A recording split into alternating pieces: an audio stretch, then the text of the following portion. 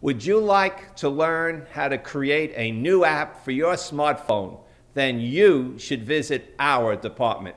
Hello, I'm Carmine DeSanto, Chair of the Mathematics, Computer Science, and Information Technology Department.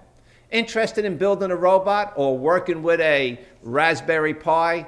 This Raspberry Pi is a little PC that can control a robot build a game console, or play high definition video. Our majors in the Computer and Mathematics Club learn how to program this Raspberry Pi. Speaking of math majors, did you know a new Wall Street Journal survey listed an actuary as the best job?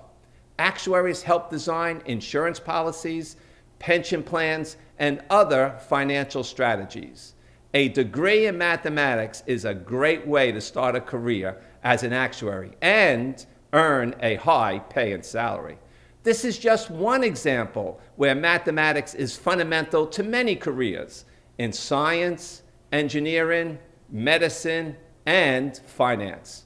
Our programs in computer science, information technology, and mathematics help students enter a variety of exciting professional careers in computer simulation, software design, economic forecasting, developing new technologies and energy resources.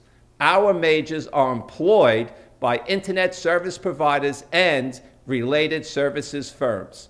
The programmers of tomorrow will be the wizards of the future and are going to look like they have magical powers compared to everyone else.